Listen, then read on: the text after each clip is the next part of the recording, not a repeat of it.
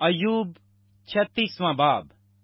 پھر الہو نے یہ بھی کہا، مجھے ذرا اجازت دے اور میں تجھے بتاؤں گا، کیونکہ خدا کی طرف سے مجھے کچھ اور بھی کہنا ہے۔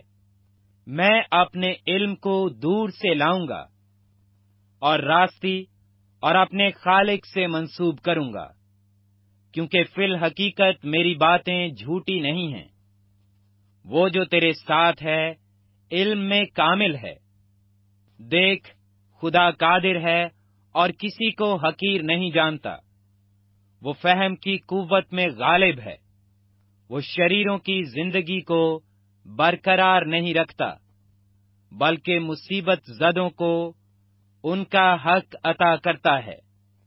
وہ صادق کی طرف سے اپنی آنکھیں نہیں پھیرتا، بلکہ انہیں بادشاہوں کے ساتھ ہمیشہ کے لیے تخت پر بٹھاتا ہے اور وہ سرفراز ہوتے ہیں اور اگر وہ بیڑیوں سے جکڑے جائیں اور مصیبت کی رسیوں سے بندھیں تو وہ انہیں ان کا عمل اور ان کی تقسیریں دکھاتا ہے کہ انہوں نے گھمنڈ کیا۔ وہ ان کے کان کو تعلیم کے لیے کھولتا ہے اور حکم دیتا ہے کہ وہ بدی سے باز آئیں۔ اگر وہ سن لیں اور اس کی عبادت کریں، تو اپنے دن اقبال مندی میں اور اپنے برس خوشحالی میں بسر کریں گے۔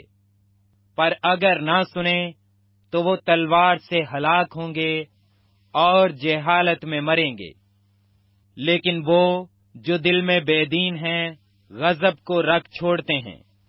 جب وہ انہیں باندھتا ہے تو وہ مدد کے لیے دہائی نہیں دیتے۔ وہ جوانی میں مرتے ہیں اور ان کی زندگی لوتھیوں کے درمیان برباد ہوتی ہے۔ وہ مصیبت زدہ کو اس کی مصیبت سے چھڑاتا ہے اور ظلم میں ان کے کان کھولتا ہے۔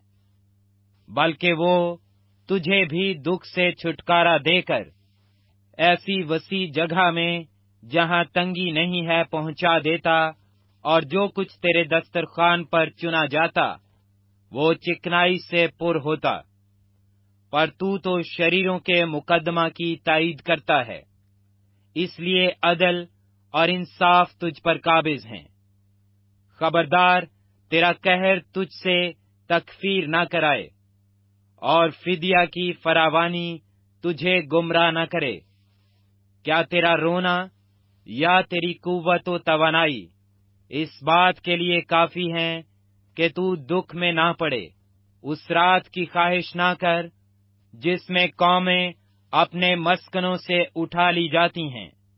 ہوشیار رہ، بدی کی طرف راغب نہ ہو، کیونکہ تو نے مصیبت کو نہیں، بلکہ اسی کو چنا ہے۔ دیکھ، خدا اپنی قدرت سے بڑے بڑے کام کرتا ہے۔ کون سا استاد اس کی مانند ہے؟ کس نے اسے اس کا راستہ بتایا؟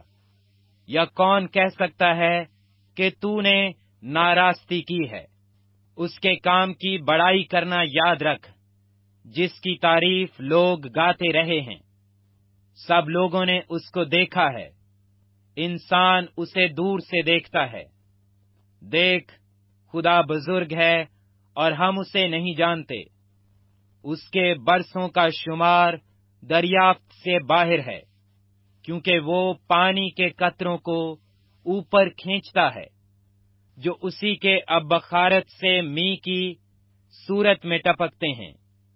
جن کو افلاق انڈھیلتے اور انسان پر کثرت سے برساتے ہیں، بلکہ کیا کوئی بادلوں کے پھیلاؤ اور اس کے شامیانہ کی گرجوں کو سمجھ سکتا ہے؟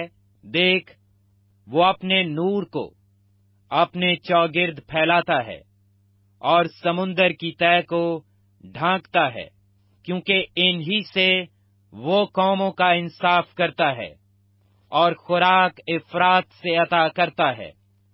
وہ بجلی کو اپنے ہاتھوں میں لے کر اسے حکم دیتا ہے کہ دشمن پر گرے۔ اس کی کڑک اسی کو خبر دیتی ہے۔